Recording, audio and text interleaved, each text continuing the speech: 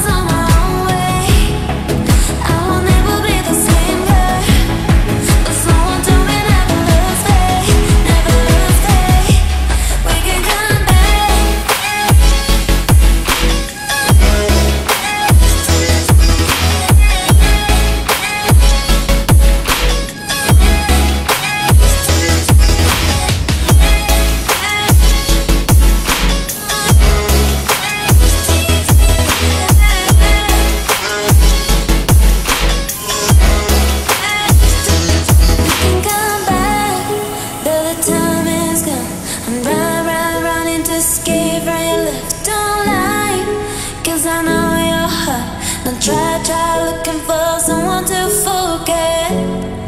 'Cause I gave you my whole life, and they say you gave me nothing.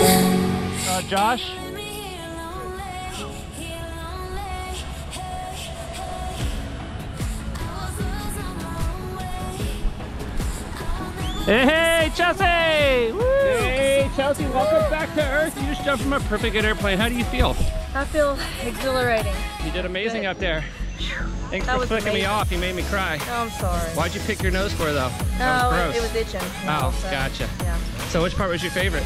Uh, the initial out, just like it's the breathtaking. Yeah, kind of takes your breath away, right? Yes, it was great. And then had my buddy Clint down. He did amazing. Wow, Clint, first time you got a good response. Sweet, you're moving up in the world. Thank you so Well, I got him, uh, one more question for you. Are you gonna do it again? Yeah. Whole face right here, Skydive City, right in Zephyrhills, Yes. Florida. Thanks for joining us. See you next time. Thank you.